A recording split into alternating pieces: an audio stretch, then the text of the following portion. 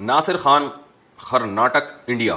क्या काफिर घराने में बच्चे पैदा करके जहन्नम में डालना जुल्म है? बड़ी टेक्निकल किस्म का सवाल है भाई। कह रहे हैं हम अलहमदिल्ला मुसलमान घराने पैदा हुए हैं तो इस्लामी को फॉलो करते हैं, जबकि दूसरे मज़हब के लोग जिस घर में पैदा होते हैं तो इसी को फॉलो करते हैं और इसी तरह मर जाते हैं। इस्लाम में ये है कि वो लोग हमेशा जहन्नम में जाएँगे। इस बारे में वजाहत फरमा देंगे, जब अल्लाह ने ही उन्हें इस मज़हब के लोगों में पैदा किया तो वो हमेशा के लिए इन्हें जहन्नम में क्यों डालेगा? देखिए, गैर मुस्लिम घर में जो बच्चा पैदा हुआ तो जब तक वो बच्चा है तो उससे सवाल नहीं होगा। अगर वो मर भी गया तो फिर उससे सवाल नहीं होगा, क्योंकि आखिरत में सवाल नहीं होगा और जहनम में नहीं जाएगा वो।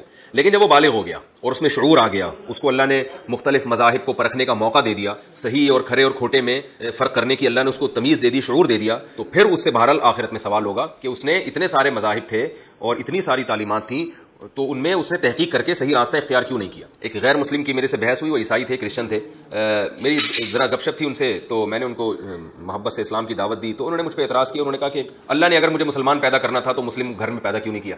तो बस अल्लाह ने मुझे ईसाई घर में पैदा किया तो फिर इसका मतलब ईसाई मैं ठीक ही हूँ। मैंने कहा अच्छा फिर ठीक है, फिर जो हिंदू में पैदा होता है, वो फिर हिंदू हो ठीक है। कह रहे हाँ वो ठीक है। मैंने कहा, इसका मतलब फिर वो पत्थर के बने हुए बुद्ध की जो की जो इबादत कर रहे हैं, वो भी ठीक है। तो यहाँ आके वो चुप हो गया। तो ज़ाहिर है, जब कोई शख्स हिंदू घराने में पैदा हुआ हो, बाले होने के बाद वो पत्थर से बने हुए बुद्ध के सामने झुकता है तो महाज इस बेस पे कि मेरे अब्बा इसके सामने झुकते हैं तो मैं भी झुकूँगा, ये कोई दलील नहीं है। उस ईसाई से मैंने ये भी कहा अच्छा मुझे एक बात बताओ, अगर अल्लाह ना करे, कोई शख्स चोर के घर में पैदा हो जाए तो क्या उसके लिए चोरी अलाउड होगी? हुकूमत उसको इस बेस पे छोड़ देगी, क्योंकि आपके अब्बा भी चोर थे, अम्मा भी चोर थी, दादा भी चोर थे, नाना भी चोर थे। लिहाजा अब आपने भी चोरी कर ली तो कोई सजा नहीं है। दुनिया में कोई ऐसा कानून है कि आपके अब्बा भी माज अल्लाह चरसी थे, आपकी अम्मा भी चरसी थी, आपके नाना भी चरस थी, और नानी का भी रिपोर्ट यह है कि वो हीरोइन के दो चार छोटे लगा लिया करती थी। तो अगर आपने चरस पी ली तो कोई हरज नहीं है। फलां भी आपके खानदान में हीरोइन थी, था, फलां भी हीरोइन थी तो आपने भी हीरोइन पी ली। और बल्कि इससे बढ़कर ये कि स्मगलिंग, हीरोइन की स्मगलिंग, एक तो स्मगलिंग ऊपर से हीरोइन हीरोइन की। आपके बाप दादा यही काम करते चले आ रहे हैं तो अगर आपने भी कर लिया तो क्या है? तो क्या इस बेस पे कोई गवर्नमेंट ऐसी है जो किसी को छोड़ दे? ज़ाहिर है ऐसा मुमकिन नहीं है। तो इसी तरह अल्लाह भी नहीं माफ़ करेगा कि जब आप बाले हो गए, आप में शूर हो गया, आपको खरे और खोटे का फ़र्क मालूम हो गया, फिर आपको महज इस बेस पे कि मेरे बाप दादा क्या करते थे, इस बेस पे आपको क्यामत के दिन माफ़ नहीं किया जाएगा।